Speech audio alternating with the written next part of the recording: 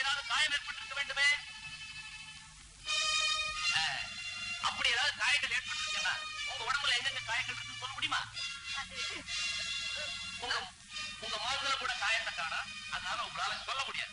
நான் சொல்றேன் ஜம்பு உங்ககிட்ட தவறான முறையில நடந்துகிட்டு இருக்காருன்னு சொன்னா முழு குத்தமா வருது இல்ல ஓரளவுக்கு நீங்களும் இணங்கி இருக்க வேண்டும் சாந்தி சக்கரவர்த்தி போராடி இருக்கிறார்கள் என்றாலே இவர் இணங்கவில்லை என்றுதான் அர்த்தம் நண்பர் போலீஸ் ரிப்போர்ட் சரியாக படிக்கவில்லை என்று நான் கருதுகிறேன் யுவரானர் படித்து விட்டு தான் தெளிவாக பேசுகிறேன் ஏதாவது இன்னும் கொஞ்ச நேரம் போனால் நான் வக்கீலுக்கே படிக்கவில்லை என்று சொல்வீர்கள் போல இருக்கிறதே யுவரான போலீஸ் ரிப்போர்ட் என்பது நடந்த சம்பவத்தின் குறிப்பே தவிர புனிதமான குரானோ பைபிளோ பகவத்கீதையோ அல்ல எனது கட்சிக்காரர் மனமானவரா இல்லையா என்று கூட கண்டுபிடிக்க முடியாத போலீசார் அவர்தான் குற்றவாளி என்று சொல்லுவது நம்பக்கூடியதாக இல்லை That's all, Your Honor.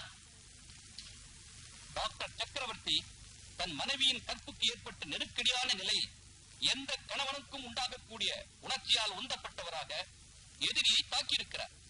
எதிரியின் மரணமும் சம்பவித்திருக்கிறது. மரணமடைந்த நபர் ஏற்கனவே சிறை தண்டனை அனுபவித்த ஒருவர். குற்றம் சாட்டப்பட்டவருக்கோ இறந்தவருக்கோ தனிப்பட்ட முறையில் எந்த விரோதம் இருந்ததற்கான ஆதாரங்களே இல்லை.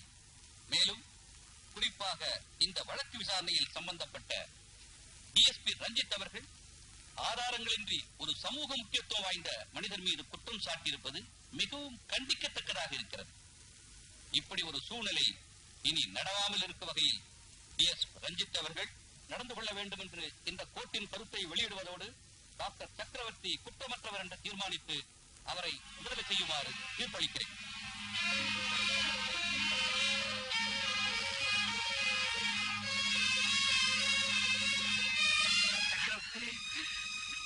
டே தம்பி எங்க வயிற்றுல பாம்பு வந்துடா வாங்க வீட்டுக்கு போலாம்.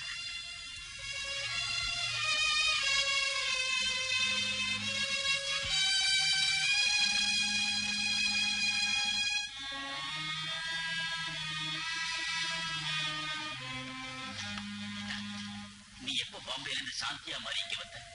ஆண்டவனா பார்த்து உங்களை காப்பாத்துற பாக்கியத்தை கொடுத்தான்னு சொல்லுங்க நான் டியூட்டில பாம்பே பிளைட்ல படிச்சேன் இதனால உன் எதிர்காலத்தையே பாதிக்கக்கூடிய எவ்வளவு பெரிய ஆபத்தான காரியத்தை நீ செஞ்சிருக்கேன்னு உனக்கு தெரியுமா?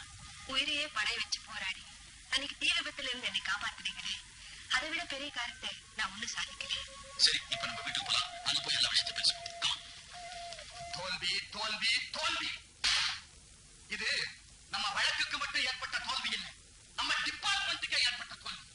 ஐ எக்ஸ்ட்ரீம்லி சாரி சார் போட்டு நம்ம கண்டிக்கிற அளவுக்கு போதுமான ஆதாரம் கிடைக்காம கேஸ் ஃபைல் பண்ணுது. பொறுப்பற்ற செயல் உங்களுக்கு தெரியல? எக்ஸ்கியூஸ் மீ சார் நியாயமா உங்க வேலையை நான் நடவடிக்கை எடுத்திருக்கணும். அப்படி செய்யாததுக்கு காரணம் கடந்த காலத்துல நீங்க செய்திருக்கிற திறமையான சேவை தான். பின்ன ஏன் கேஸ் போத்து போச்சு? டாக்டர் சக்கரவர்த்தி உங்களுக்கு நெருங்கிய நண்பர்.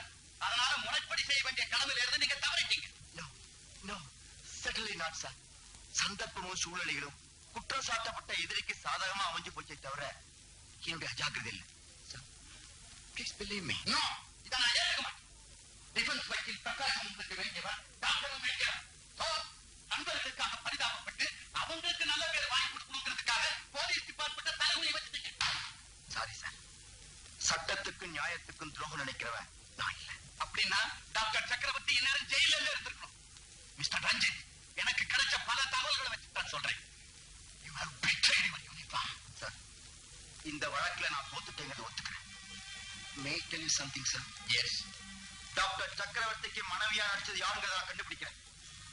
அவருக்கு திருமணம் ஆனது பொய்ங்கிறத மறுபடியும் கோர்ட்டை நிரூபிக்கிறேன்.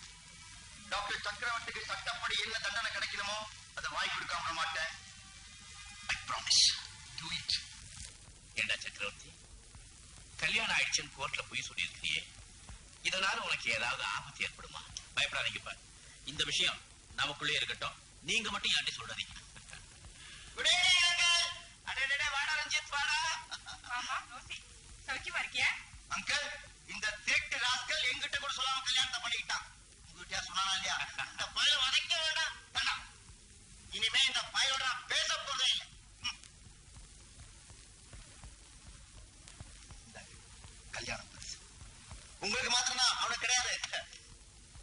பாக்குறீங்க? நானும் அவனும் சின்ன வயசுல இருந்தே ஃப்ரெண்ட்ஸ் இதெல்லாம் உங்ககிட்ட சொல்லவே இல்லையா? நம்ம எல்லாம் ஃப்ரெண்ட்ஸ் ஒய்ஃப் சொல்லவே இல்லை நீ? ஆ? என்ன பேச மாட்டேங்கிற? உன் கல்யாணத்துக்கு தான் கூப்பிட்டு ஒருவேளை சாப்பாடு கூட போடல இன்னைக்கு அதான் முடியாது. கல்யாண சாப்பாடு சாப்பிட வந்திருக்கேன். சாந்தி என் ஃப்ரெண்டுக்கு ரொம்ப பசிக்கிற மாதிரி இருக்கு. உன் திறமையெல்லாம் காட்டி அவக்காவ சமையல் பண்ணு. இப்ப சமைச்சு போட்டா அடுத்த ஜென்மத்துல கூட இந்த வீட்டு பக்கம் கால் எடுத்து வைக்க கூடாது அப்படி இருக்கணும் சாப்பாடு. ஏ கெட்ட புத்திடா உனக்கு. இவன் கல்யாணத்துக்கு தான் நீ என்ன வரவிடாம பண்ணிட்ட. இப்ப வீட்டுக்குள்ளேயே வரவிடாம பண்ணலாம்னு பாக்குறியா? அதான் நடக்காது மிஸ்டர் இது ஏன் வீடு? நான் எப்ப வேணா வருவேன் எப்ப வேணா போவேன். நல்ல பிள்ளைக்கப்பா நீங்க. கொஞ்ச நேரம் சந்தோஷமா பேசிட்டு இருங்க. நாங்க அதுக்குள்ள சமையல முடிச்சிட்டு வர்றோம். ஏன் ஆண்டி? இப்ப மருமகளுக்கு சமைக்க தெரியாதா? அது அவர்கிட்டே கேளுங்க. நீ வாமா ரோசி வா. என்ன வைக்கிறேன் வீடு தேடி வந்திருக்கிறா? அவங்க கிட்ட எப்ப பார்த்தா சண்டை போட்டுட்டே இருக்கிறேன் அப்பா ரெண்டு பேரும் கோர்ட்ல மோதிக்கிட்டானுங்க. அந்த சூடு இன்னும் அடங்கல. டேய் அதெல்லாம் மறந்துடுறா. ஏடா பசங்களா சாப்பாடு தயாராகிற வரைக்கும் சீட் ஆடுவோமா ஓஎஸ் டே பிரகாஷ் இதுலயாவது நீ ஜெயிக்கிறியான்னு பாக்குறேன். இதுலயும்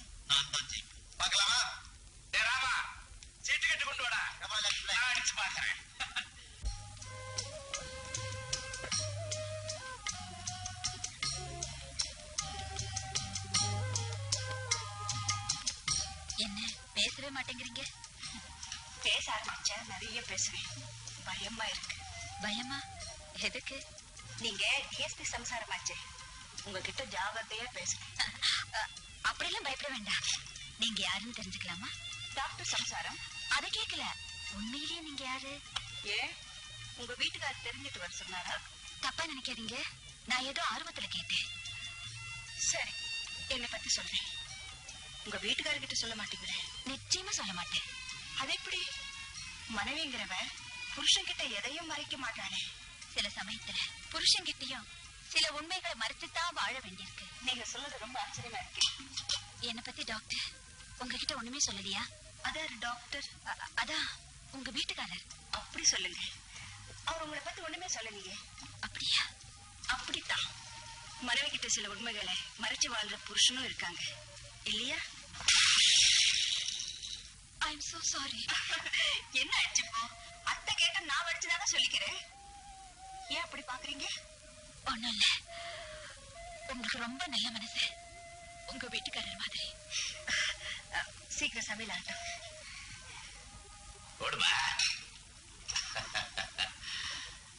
சாந்திபா நாங்க ரெண்டாட்டு ஆடுறதுக்குள்ள மடமடன் சமையல் செஞ்சு சுட சுட போட்டியே. அங்கிள் மத்தவங்களை ஆச்சரியப்பட வைக்கிறதுல சாந்திக்கு நிகர் சாந்தி தான் என் மருமகன் எல்லாத்துலயும் ரொம்ப வேகம்.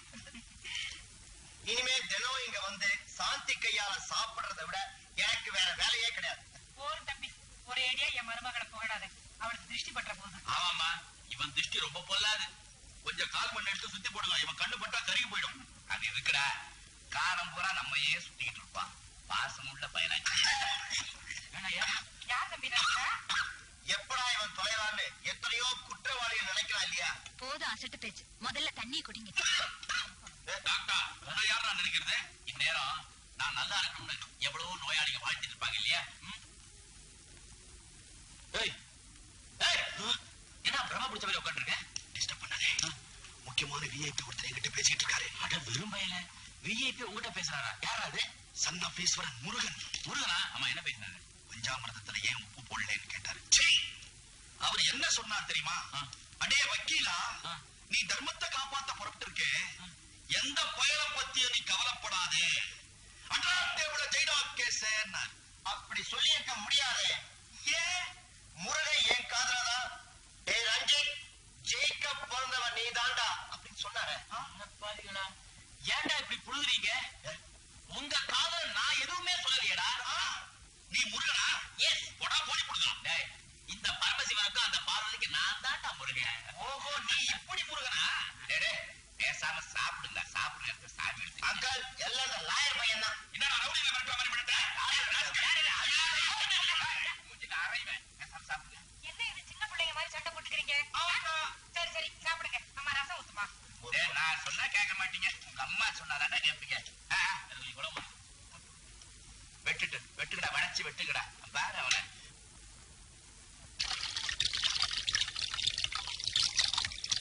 விட்டு நான் இப்படியே கைகளை விட்டு போயிடுவேன் நினைக்கிறேன் சாந்தியோட சரித்திரத்தை கண்டுபிடிக்காம நான் விட மாட்டேன் இப்படி சவால் விட்ட பல பேருடைய சரித்திரம் இருந்த இடம் தெரியாம போயிருக்கு. அதை நீயும் நானும் படிச்சிருக்கோம். அவசரப்படாது. தீர்ப்பாயிடுச்சு நினைக்கிறியா? சம்சாரியா நடிக்க வேண்டிய அவசியம் இந்த பிரம்மச்சாரிக்கு ஏன் ஏற்பட்டதுன்னு நான் கண்டுபிடிக்காம விட மாட்டேன்